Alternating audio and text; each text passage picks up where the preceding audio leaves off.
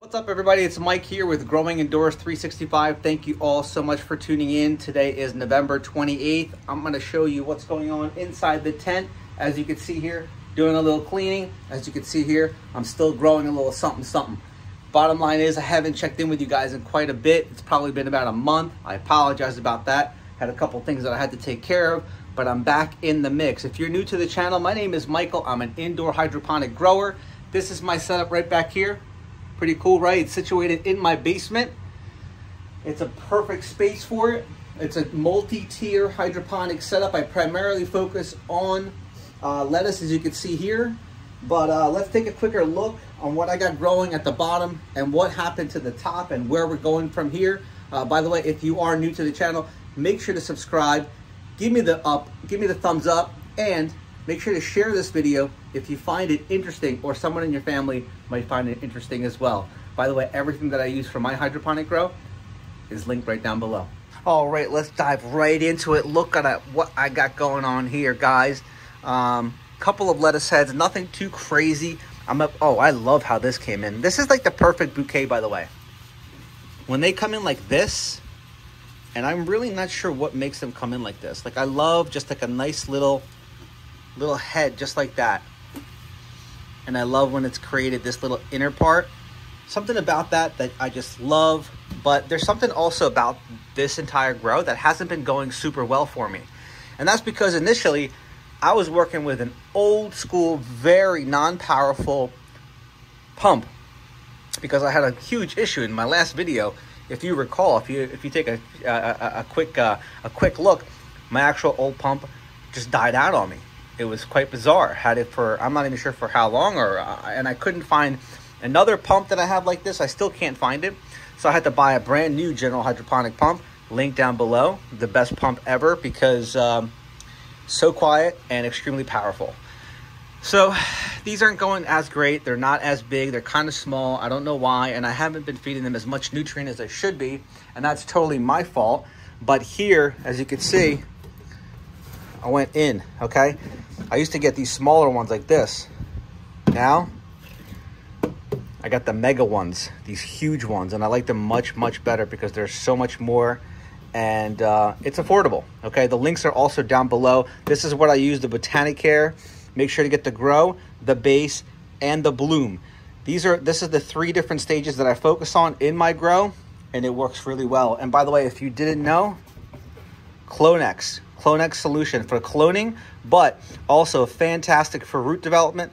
This is what I use, couple of drops of this, and you're golden. Also linked down below. Let's go back down here. So, I don't think I've been feeding them enough.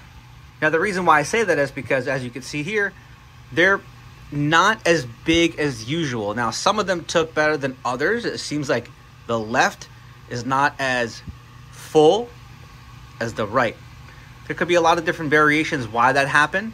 Um, but bottom line is because these two lights right here, these T5s, they're new. Okay, they're new to the tent.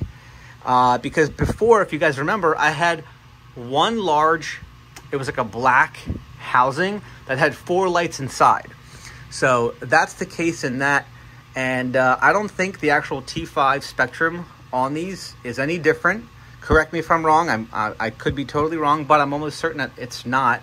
So that's where I am. Now, we'll go back down in just a minute. Up here, I had a pretty large grow, okay? All three reservoirs were full. They were doing well. And uh, what happened was, I was also, I'm also running these T5s that I've been for years. I had two of them, okay? As you can see here, they're basically situated on this, on this initial bar and that other bar right there. Now, my one T5 completely died out. I don't know what happened. I don't know what the deal is, but a couple things just kind of ran out of ran out of steam, ran out of life. So I'm thinking and I'm wondering, and I really want to hear from every one of you that has experience in these type of growth scenarios.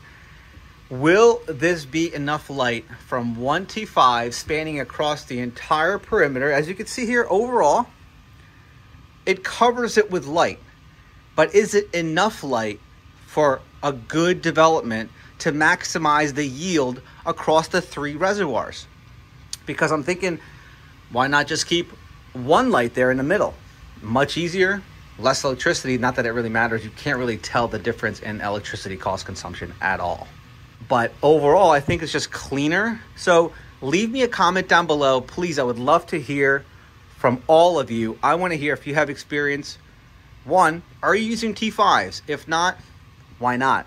Are you using LEDs? If so, why do you why so? Okay? And uh, is is your grow technically the way that mine's set up? A lot of you guys have kind of scattered grows. I don't you don't really find a lot of people doing the um, the multi-tier. I mean, obviously certain people that that put in the time, the effort, and the money can set up a, a little grow like this. Uh, but usually find kind of like one individual, you know, plant or something like uh, some sort of reservoir like this with some sort of minimal light above it. So it all varies. But let me know down below if you think it will be successful with just simply one light like that across the three reservoirs. I mean, from the way that I'm seeing it, it should work. I mean, it's it's getting good coverage. But if you look here, it's not how you see the light down there. Because with two lights, it's obviously, you know, signi- covering significantly more of the area. So obviously it's going to be hitting a lot more plant, in which case you're going to have more development. So, you know, based on your guys' comments, there's a high probability. Do I get another light or do I not? So make sure to leave me a comment down below. I need to hear from you guys. This video will also be posted on the Facebook channel and I'll be posting some detailed information, including images on growingindoors365.com. Make sure to check me out on Instagram. I'm always posting on there as well as posting on Facebook. And I love growing that Facebook group, but I'm not hearing from enough of you guys. I see a ton of people that are doing hydroponics and other whatever you know fan groups, fan pages, and I know a lot of you guys are are are following the Growing Indoors 365 page on Facebook, but you're just not posting what you guys are up to. And I need to know what you're up to because I want the world to know how you're doing, what you're doing, and the progress that you're making because everybody needs to learn how to grow indoors and how to grow their own food. Anyway, guys, I'm going to cut it here. I really appreciate everybody's help and support, and uh, you guys are just fantastic. Have a great weekend. I hope everybody had a really nice Thanksgiving with their family. If you don't celebrate Thanksgiving, I hope you're just staying safe and being with your family. But I'll see you guys in about a week or so. Hope you have a great week ahead. Have a great one.